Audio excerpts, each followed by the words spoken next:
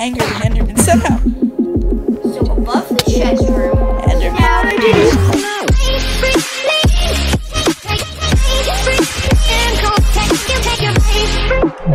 Hey guys, here it's time for episode six. We have to find our nether fortress again. welcome back. Will so, not be good. We kind of both died, See you guys in a few and I had to come Bye. back here. Hey guys, Tulu Life. So I've just uh, instead of really killing the Nether this episode, I'm really gonna add on to the house and maybe even start a farm, or that might be next episode.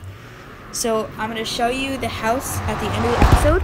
I'm about to show you what we got, but if you can see, I got a lot of quartz from the Nether, like three stacks, maybe even four stacks. Because the new room I'm building is quartz and it's gonna be fancy. So I think that these like logs, the acacia logs, they give a really like rustic feel, and that's what I want for the floor. Let's get like maybe like we really don't need that much. I mean, the room's not that big. Let's get a little more. Thirteen isn't enough. I think this tree will be enough. Wait, wait, that's regular. No, we need acacia over here. All right. So Angry the Enderman somehow. so above the chest room, Enderman, what I do?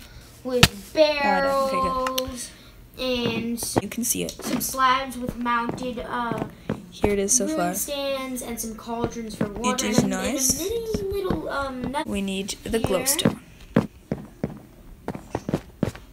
It's glass crazy. maps and stuff. Perfect.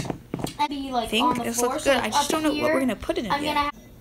So guys, I think the first thing we should do in this room is really make like another wart farm because it can just help us. Alright, okay, here we go. Let's place the out. So we just got this. Let's place our brewing stand in here. You know what? Let's take these beds. It's just we can put other things down there. So anvil, the brewing stand. I do need to make a cauldron.